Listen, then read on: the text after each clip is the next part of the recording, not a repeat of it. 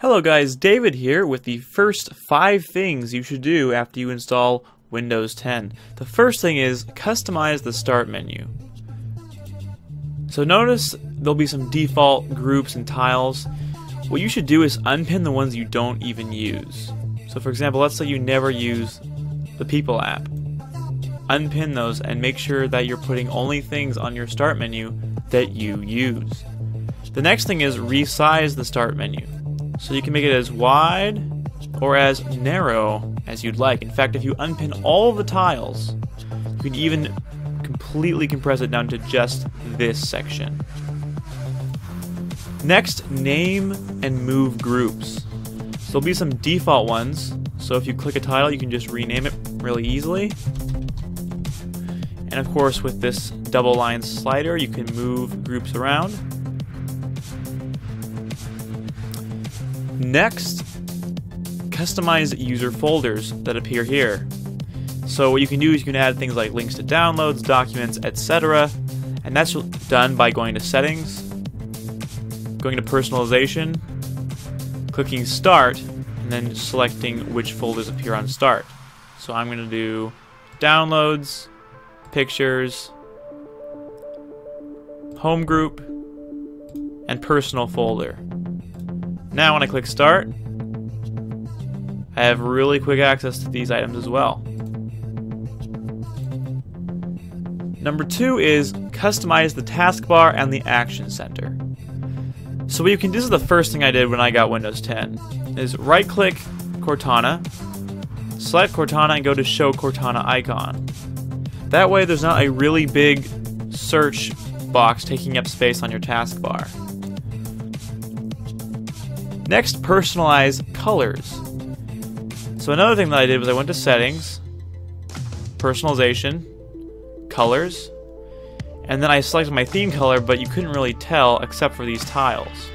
So I selected show color on start taskbar and action center, and now there's this blue on this uh, overlaid on start, the taskbar, and in the action center, which I like very much. And then of course I have transparency on. If you don't like that, you can make them just solid colors. The next thing is choose actions you want. So when you click the action center, you'll see there are these options here. Because this is a desktop PC, tablet mode is grayed out. So I'm going to replace that. Go to system, notifications and actions, and I'm going to click this tablet mode one and change it to quiet hours. And that brings me to my next one. If you're getting annoyed with notifications coming in, just click quiet hours and you won't get any more notifications popping up on your screen. Number three is customize Microsoft Edge. So Edge is Microsoft's new browser. It's very fast and has some great capabilities. So the first thing that I did was I hit Settings, then Show Favorites bar. And this is a really great way to customize your browser from the get-go. You can even import your favorites from another browser, for example Internet Explorer or Chrome and that's a really easy way to import them directly in. Or what I would do is go to a website, click this favorites, select favorites bar from create in folder, and then it's just one click away to some of your favorite websites. Another thing that people have done, including myself, is add the home button. So go to settings, Scroll down to View Advanced Settings and select Show the Home button. You can now select a home page URL. So when you click the Home button, it takes you to that page. Lastly, you can change the theme. So by default, it's light, but you can also change it to dark, if that's what something you prefer.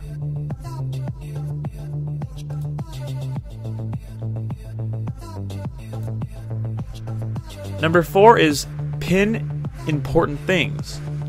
So the first thing you might think of is pinning an application to start. So for example, let's say I want to pin OneNote. So first thing I do is click All Apps. I'm going to choose M from the jump list to go to Microsoft Office 2013. There's OneNote. I'm going to right click it, pin to start. There it is.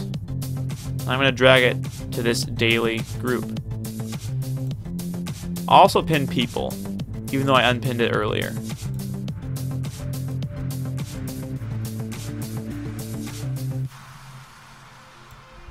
There. Next, pin apps to the taskbar. So another option is pin to taskbar. Now it's appeared down here on the taskbar. You can move it anywhere you'd like. And there it is. Next thing is pin documents into jump lists on the taskbar. So if you right click an application, it will show you your recently opened or used documents or files. In this case, I'm using Word. So I'm going to pin Beyond Tweeting Draft 4, and now it is under the list of pinned documents. This is a way to keep track of really, really important ones that you use often, but it also shows you some recent ones. Next, pin a folder to quick access. So when you open Explorer now, you get to this quick access menu, which are frequently used folders, folders you pin, and then also recent files. So let's say I go to my user folder, I want to pin videos. Just right click videos, go to pin to quick access, and there it appears, right there. So if I click quick access, videos now appears as a pinned folder. Next, use apps. So first off, I encourage you to try the built-in applications. For example, maps. And try out some of the cool stuff you can do with them.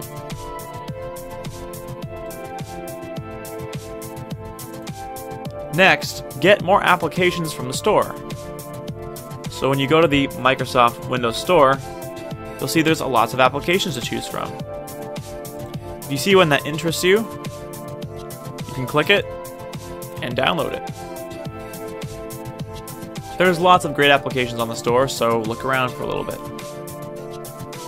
Next, try snapping applications.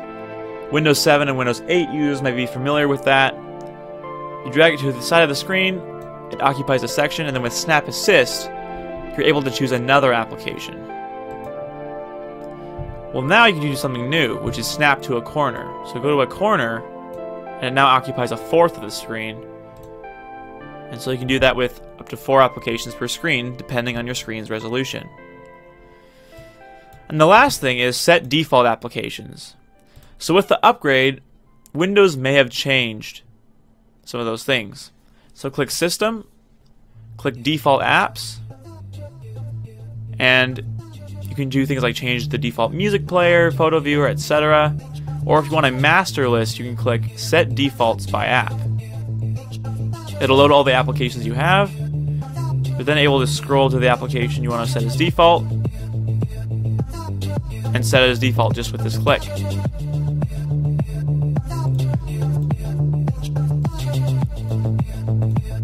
That's all for this video, but subscribe for more Windows 10 related content. Thank you so much for watching.